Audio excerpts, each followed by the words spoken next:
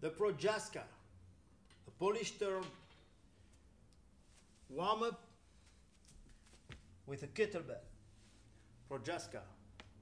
Put your thumbs in like this. When you pull it, you stay like this with your thumbs in. Okay? It's a straight movement, vertical movement. You pull it. This is the Protjazkha.